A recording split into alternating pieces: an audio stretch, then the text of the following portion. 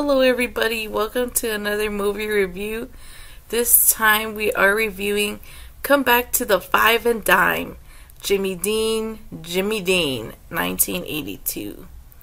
So as you can see to the right, we have the poster here with Jimmy Dean's face looking a little solemn. We reviewed this movie uh, recently, saw it this July and in 2018 gave this movie a rating of 2. Come Back to the Five and Dime, Jimmy Dean, Jimmy Dean is a ridiculously long title for a film. It was mentioned in a book by Don Graham called Giant, which proved the behind the scenes story of how the eponymous epic picture was made. Biographies of the three main characters, most especially James Dean. Within the year of 1955, after James Dean died in an automobile crash, there were over 4 million members, the vast majority of them being teenage girls, teenager girls, enrolled in various clubs in the memory of him, and they were called Deaners. It wouldn't take too long for James Dean to be transformed into an iconic icon due to the strength of his acting in only three films Rebel Without a Cause, East of Eden, and Giant. He quickly became the symbol of beatnik generation that's perfectly described in Jack Kerouac's On the Road book. Therefore, it is not difficult to understand why there exists a play that revolves around the concept of a James Dean club that was founded and run by local females.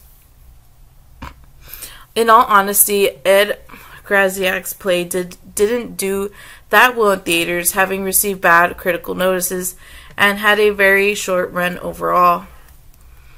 Unfortunately, Robert Altman ignored the facts by deciding to film Come Back into the Five and Dime, Jimmy Dean, Jimmy Dean, that was meant to stay within the confines of the stage. The movie is abysmally bad and full of loony hens who didn't know the meaning of friendship or the art of conversation. They just want to turn into bitches and backstab each other with mean spirited words and made up stories. It's hard to follow and bear the non sequential dialogue and stagey acting, however, that's the point of it as explained by playwright. The play can only be described as the result of my own observations and frustrations with progress that ignores a past the lack of personalization and pride, and the recurring need for people to build facades to conceal the truths of their lives. It is that the facade that makes abnormal people seem normal and the sad people seem happy. Of the cast, I thought the selection of Karen Black as the transvestite character was dead on because she had always been an odd looking woman with crossed buggy eyes. On the other hand, I didn't know that Kathy Bates' career went far that far back. Regardless, the failure of the film didn't stop Robert Altman from his personal quest of directing filmed adaptations of play, stage plays, as he would go on to make a string of them throughout the 80s, causing him to drop out of Hollywood's pantheon, pantheon of the great directors. All in all, I can imagine James Dean, while seeing Come Back to the Five and Dime, Jimmy Dean, Jimmy Dean, oddly laughing and going, What the fuck is the bullshit?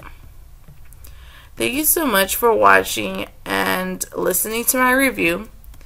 Please come back for more reviews. Thank you.